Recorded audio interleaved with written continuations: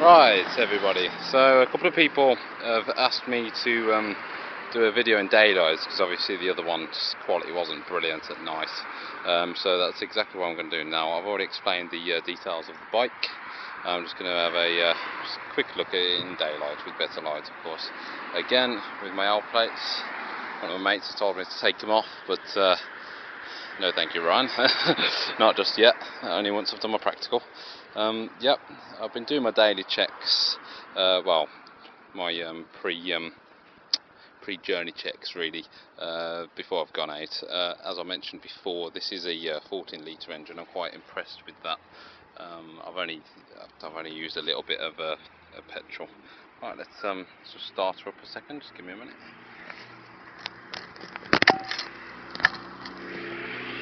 Let's let the uh, fuel injector thing do its thing. Um, before it was a, a, red backlight, that's at night. You can actually see my mileage there. It's uh, 40 miles that I've done there. Uh, the neutral light's on, obviously, and um, that's the uh, the revometer. It's a digital speedo, as you can see. Um, it can be um, a little bit misleading towards. if, you, if, if, you don't keep an eye on it, it can really jump up without realising. But I'm sure that's just me being a bit of a noob and uh, not keeping on my speed. Let's, uh, just start her up.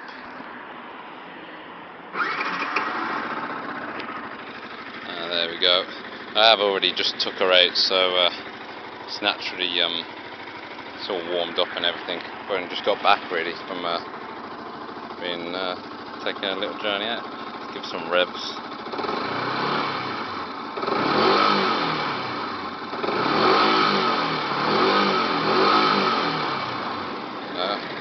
Beautiful engine. Definitely just breaking it in at the moment, so I'll be able to go uh, be able to go well over 8,000 eventually.